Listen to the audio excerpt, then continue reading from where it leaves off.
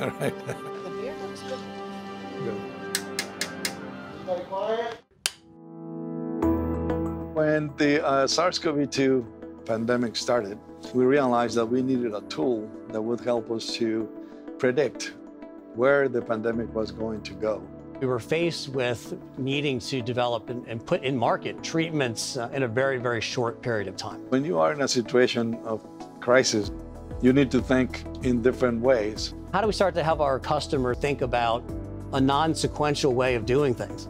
So you can't really think of that as a purely clinical or a purely commercial exercise. It's more of a how do we work together to get this done. Once we started to collaborate, we realized we could integrate the commercial insights into a platform, and that's when we started to call it the dynamic control room. What we were able to do because of who we are and the way that we're constructed is we were able to draw expertise from a lot of different places, people who had worked on prior smaller scale pandemics, who had experience with emergency use authorization, you know, and, and having a, a former FDA colleague as part of the mix we put all this together and we were able to keep track of the pandemic in almost real time.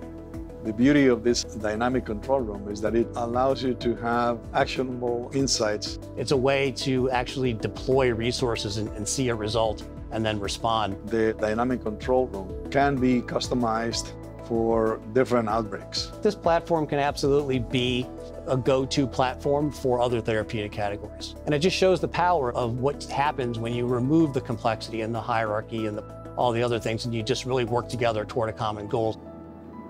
Cut. All right. Okay.